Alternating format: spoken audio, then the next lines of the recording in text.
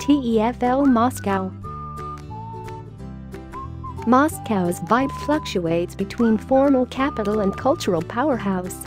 The Kremlin is at the core of political life, a building with an intimidating architectural style.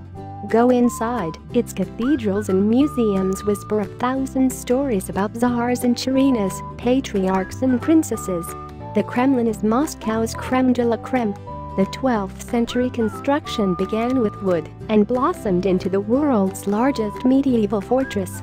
Waltz through Red Square past Lenin's mausoleum, with his century-old body lying in state, to find palaces, museums and a startling art collection inside the armory, including some of the famed Fabergé eggs. Wander through the world's largest gallery of Russian art.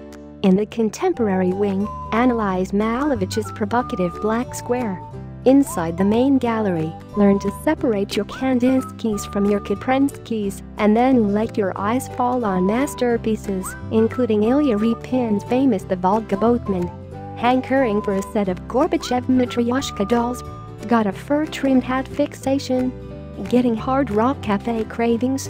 Then take a stroll along Arbat Street where you will find a never-ending procession of street artists, kitschy souvenir shops, and the odd accordion-wielding musician. Wander past the colonnades of the Vakhtangov Theater for a whiff of old-world Moscow, or peek down side streets filled with local curiosities.